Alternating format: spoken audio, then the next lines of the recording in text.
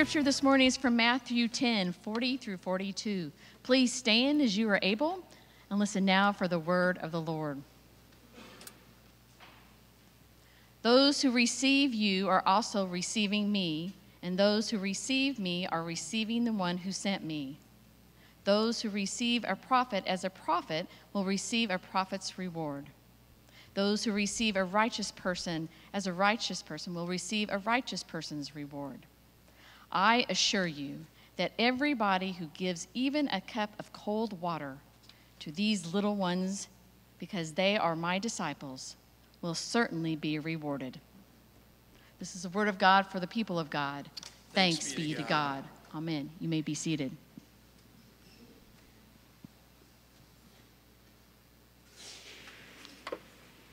You know, over the past year and a half or so, we've started adding that into our tradition and our worship here in Threshold. When we read from the four Gospels Matthew, Mark, Luke, and John we stand because it comes from an ancient tradition where when you're reading from those words of Christ, we want to be welcoming the very presence of Christ in our midst.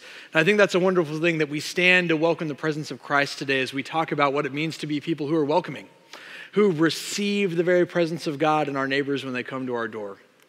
So that's where we're going to be going today. Before we dive in, let's pray together.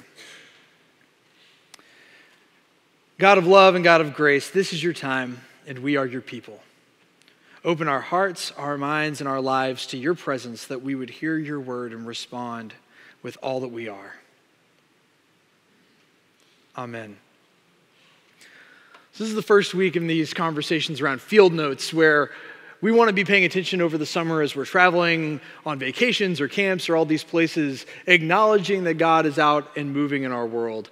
And where maybe as we report back from the field, do we experience that presence of God moving? Those are some of the themes of the conversations. And each week we're going to be looking at these different uh, teachings of Christ. This teaching comes from the tail end of the Sermon on the Mount that my friend and colleague, Reverend Joe Stobaugh, preached about last week, as he really summed up what it means for the Sermon on the Mount to be this foundational text, to be truly that foundation for our lives, for Christ to be the center of our lives on. And how do we build our lives around that foundation of Christ's teaching?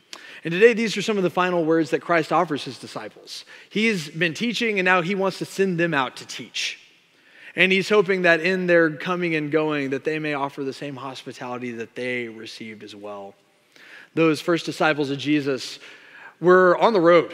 They didn't have any money, they didn't have any income. They lived in complete need for other people to welcome them, to give them a roof over their heads, to give them food to eat. And Christ is helping them to remember that sense of hospitality they have received, but to extend it further. I think about that just personally a lot, about what it means to receive hospitality from others.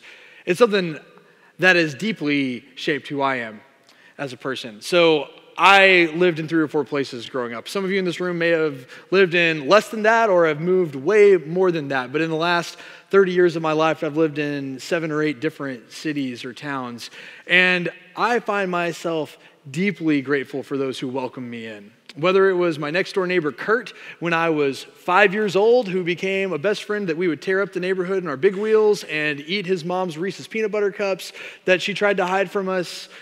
I was deeply thankful of a best friend who would come along and invite me into his life and give me a place to belong. Or whenever my family moved to Palestine, Texas a few years later, and a friend of mine named Cliff was in my class and let me do work at the same table as him, who was the first person to invite me over to his house to spend the night, who became this lifelong friend for me, really helping me have a place to belong or in high school, whenever I had that experience of moving about two weeks before school started, and I was in drumline, I was a band kid. If you're in any kind of sports or activity like that, you know that, uh, particularly football, a band, drill team, you have that week or two right before school where you're practicing, rehearsing, doing drills, all these things. I showed up fish out of water, new kid, and this guy, JP, comes up to me and says, Hey, you're new here, aren't you? Why don't you come eat with us today at lunch when we all break today? Why don't you sit with me on the bus when we travel for away games? Why don't you come and join my group of friends? And if anyone remembers their freshman year of high school, having a friend like that was really, really helpful, particularly being the new kid in town. And I have friends like that in college or whenever Alyssa and I have moved to Nashville or back here, people who leave those imprints on you because they welcomed you, because they made a space in their lives for me. It has made such a big difference in my life. Now, I look around our church and I know there are stories just like that for every single adult here, I'm guessing. We have maybe a handful of people in our church. We got a couple thousand members of our church, a little more than that. We only have a handful of adults who were actually born and raised in Frisco. Now, yeah, my daughter was born here. Uh, maybe a lot of your kids were born in this area.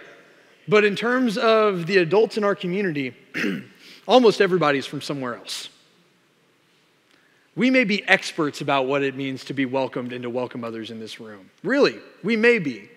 As I'm sharing those stories of people who welcomed me, you may have had someone come to your mind who was that neighbor who welcomed you to check in or give you some food when you moved in. Who, who was that coworker when you started a new job who came to make sure you were doing all right and became your work pal or whatever. Or maybe it's someone in this church who made you feel at home here at Grace Avenue. We, so many of us here, are experts at this experience of what it means to be new and receive hospitality, and hopefully are experts in what it means to offer hospitality. Those relationships are so vital. They give us life. They make us feel like the risks are worth it. The risks of moving over to some new town and starting over, taking a new job, taking a new chance, trying to join some new faith community. Those relationships help us know that we're loved, that we're valued, that the risk was worth it. I think from our own experience, like I said, we are the experts here. I don't know that there's anything new I can tell you about welcoming people. In fact, I bet I could learn from a lot of you about what it means to welcome people. This is not a day where maybe you're going to find some new bright epiphany about how to live and follow Christ in the world. And that's okay. The faith tradition is long and has been here before me and will be here after me. My job is not to be about helping discover the new, but maybe our work today is to figure out how we remember well that's the encouragement that Christ is offering his followers. Can you remember what it was like to receive hospitality, to be welcomed? And when you remember that and you remember how transformative that was for you, can you extend that sense further for more and more people? That's the invitation. Can we remember it well and can we extend it further? Man, what a great day to celebrate Holy Communion. It's down here. We're going to celebrate that later. That is the heart of the communion experience. We remember how we are welcomed and loved deeply by God. And we go from the table to extend that love and that welcome further. So Jesus is gathered with his friends. He's teaching his friends on this mountainside, and he is helping them remember. People welcomed us in their homes along the way, friends. They fed us at their tables. As you go out to teach and to serve, Go and do the same. When the prophet comes knocking on your door, when the righteous person comes looking for a place to crash, when one of the least of these, these little ones, as it said in our scripture, comes needing a cold cup of water, remember to receive them and welcome them. It says you'll be given a reward. I don't know that that means that God's necessarily going to make your house bigger or your bank account grow, but I know that I have been deeply rewarded whenever I have been welcomed and welcomed others by the very presence of God knowing that there is some deep connection that we will share in those moments, even if it is just a one chance experience of welcoming someone. We welcome the very presence of God. As some of the scriptures say, we never know when we're entertaining angels. Or Christ says, when two or more are gathered in my name, there I am among you. We are welcoming God's Spirit when we welcome our neighbors.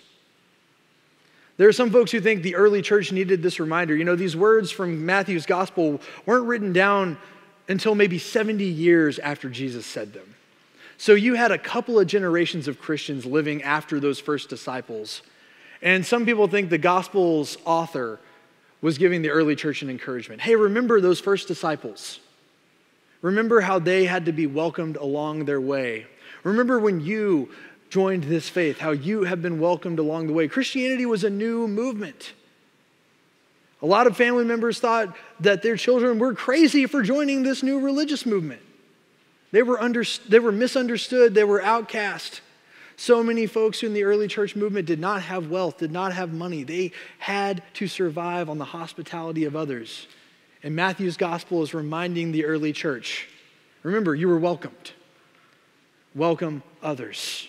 Remember what it was like when someone opened their home to you and offered food to you and offered you that cold cup of water on a hot day. Remember and extend it further. It isn't just the early church that's being reminded of what it was like to follow Jesus. This is an echo of the entire faith tradition dating all the way back to Genesis, when Abraham and Sarah were first called by God to leave their homeland and worship God and start what we know as the Jewish faith. Our faith is rooted in people who are migrants, who live off the hospitality of others, who are strangers in foreign lands, in foreign cultures, in foreign religions. And we are reminded in hundreds of verses throughout Scripture of this heritage that we carry. We are reminded over and over again that your ancestors were wanderers and were welcomed in by, welcomed in by others, and so we too must extend that welcome. That is the character of God about welcome and grace and hospitality. Will we extend the same grace that we were offered? Will we extend the same grace that our ancestors were offered? We remember that we didn't just wake up one day and have all of the stuff that we have, but someone else has helped provide the living that we enjoy. That's the encouragement. I have a quote here from uh, some of my reading this week. William Goettler, who is one of these theologians, really summed it up nicely, I think. Uh, this is what he says to us Jesus arrives today in the midst of all that we're doing, in the midst of our weekend plans, in the midst, in the midst of our Sunday morning routine. Jesus arrives today and tells us take that love for your family, that love for your closest community, and extend it, extend it further and further still. Welcome in the stranger, welcome in the one whose life you hardly understand, not to change them, but simply because they too are God's simply because they too are God's. I want to leave this up there for us to reflect on this. Here in Frisco, we are experts in what it means to be welcomed. I think from time to time, I find myself tempted to enjoy the comforts of a community like ours, to enjoy my home as a refuge from the world outside, or see my church home as a refuge and a fortress from the world beyond. But Christ reminds me today that the blessings I have are not just for my own benefit, but that I am called. It is a characteristic part of our faith to make sure that all I encounter can experience the same hospitality and blessing that I have been given. I think this is a good quote for us to think about in the midst of where our country is right now. We are going to celebrate Independence Day this week. It's a time for us to remember where we come from as a country, and I hope we remember well, as we prayed earlier. Yes, the, the great sacrifice that has been made for us to enjoy the blessing that we have, but also the many different stories that shape our America. It isn't just one homogenous group of people. We are a diverse group of folks who come from all over the world, all different cultures, all different backgrounds, and we come together.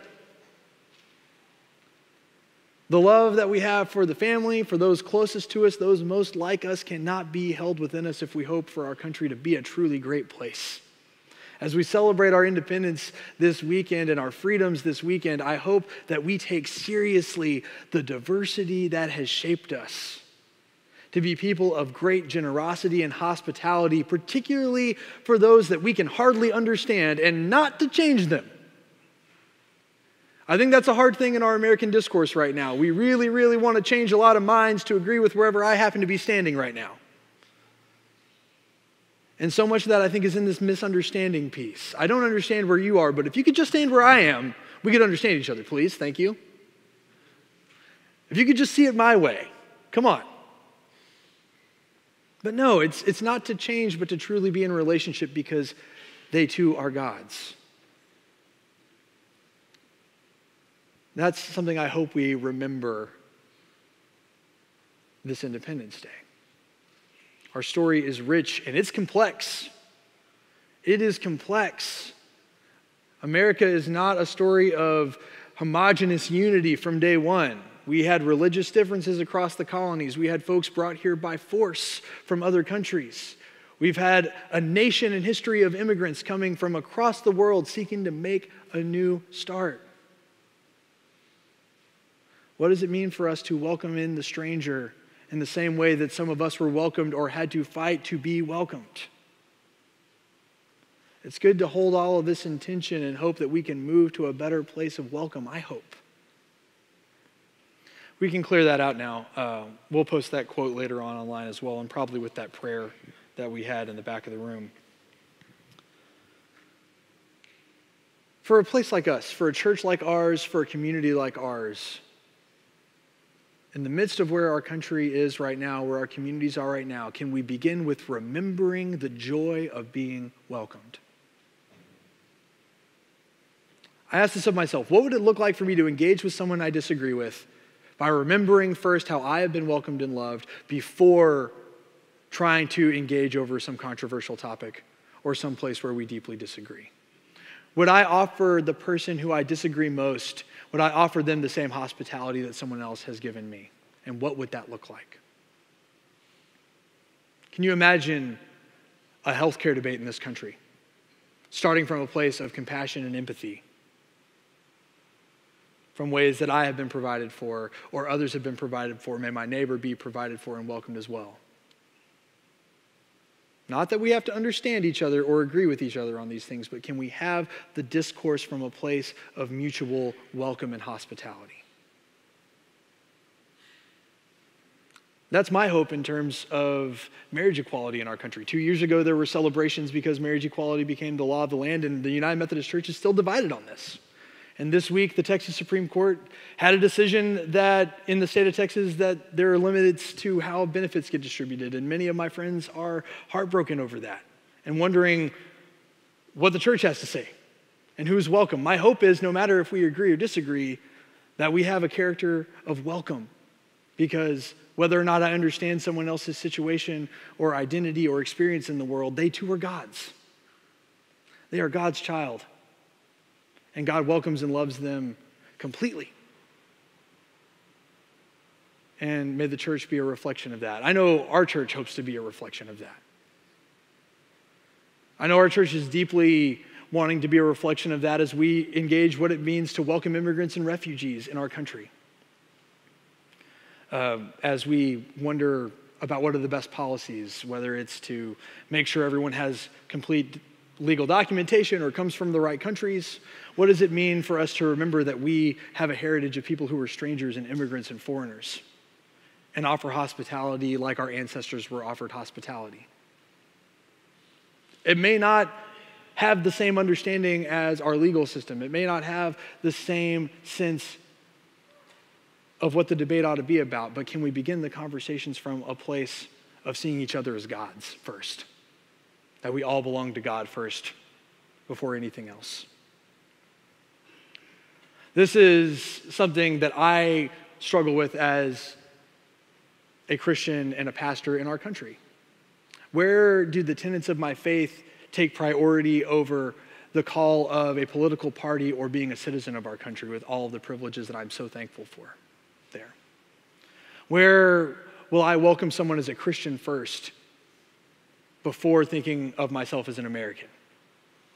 Do I see myself and my neighbor as uh, children of God before seeing what country we were born in? That we all get thirsty and need a cold cup of water. That we all get tired and need a place to sleep. That we all get hungry and need a place to eat. No matter if we understand one another, no matter if we share the same gender, ethnicity, country of origin, that we all belong to God first and seek to foster that way of being. In the midst of all the things that we remember from the last couple of years, I'm deeply struck with the Christian example of hospitality that still shakes me to my core mid June in 2015, there was a Bible study going on at Mother Emanuel Church in Charleston, South Carolina. It's an AME church, an African uh, Methodist Episcopal church, and they have a deep, deep history of advocating for civil rights in our country. And on an ordinary day, when an ordinary Bible study at this African American church, a young white man showed up who didn't have the same experience, didn't have the same understanding, but was welcomed in completely by this Bible study group. A, a, tragedy happened where he chose to act out of anger and fear and racism and decided that people would die that day. And it was awful. But the story does not end with the act of violence or the act of hatred or the act of fear in the face of hospitality. Victims of those folks who lost their lives, members of that church, said, You were welcome to come to study with us. And they continued to offer a welcoming presence of love for this guy, Dylann Roof, over and over and over again. Our legal system sentenced him to death but these members of this church went to visit this man in prison, and they went over and over again to offer forgiveness, and they even advocated the courts to not rob him of a chance of redemption and grace, because that would not reflect the character of God continually welcoming. It was interesting in some of his testimony, he even said they were so welcoming to him that he almost didn't go through with it and they continued to show that love over and over again across misunderstanding, across pain, across risk. I am deeply, deeply troubled, wondering if I remember well being welcomed and if I would be willing to risk that kind of hospitality in the face of someone who would do me harm, someone who only fears me, someone who would hate me that I would reflect Christ so well as those members and leaders of the Mother Emanuel AME Church. Maybe every single moment for you is not a life and death moment of how you offer welcome. But every single moment is an opportunity. And every single moment is an opportunity to receive the grace of God and offer the grace of God for our neighbors. So I want to dream about Frisco being this kind of place. We are experts at hospitality. We are experts of what this means to be welcomed and to welcome others. What does it mean for us to live that out and for our communities to be a beacon of hospitality in a culture of fear and division and anger? I think about all the homes in our community that have pristine, decorated by almost like they were Joanna Gaines herself, guest bedrooms,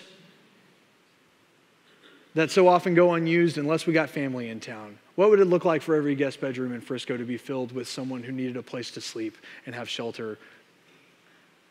What would it look like for our beautiful kitchen tables that we either get from Nebraska Furniture Mart or, Lord help us, IKEA or wherever?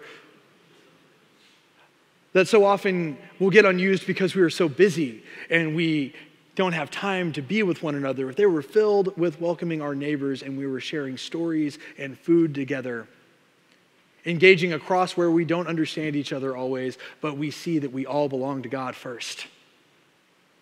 And we re- remember well what it means to be welcomed, and we would extend that welcome further. What would it look like if you took a little bit of time out of your week and saw that there was someone asking for a cold cup of water and you gave them a lunch as well with Frisco Family Services or with our neighbors down in Little Elm? Each of those moments is an opportunity. That's the hope I pray for us. When we come later to share around this table, would we remember well what it means to be welcomed? And would we extend that welcome across our divisions, across our disagreements, across our misunderstandings to see that we all belong to God first? Amen.